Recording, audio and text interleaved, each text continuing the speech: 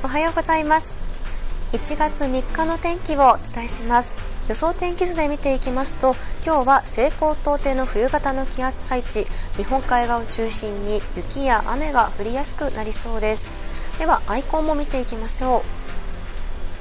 日曜日は西日本や東日本太平洋側では晴れるものの日本海側は雪や雨が降ったり止んだりしそうです。山陰や近畿北部ではにわか雨が心配です。北陸は沿岸で雨より内陸では雪寄りとなっていきます。東北や日本海側の北海道ですと雪が降りやすく路面状況の悪化が懸念されます。積雪の増加にもお気をつけください。日中の気温について見ていきますと晴れるエリアもなかなか気温が上がらず10度に届かないところが多い予想です。防寒を徹底してください。以上天気をお伝えしました。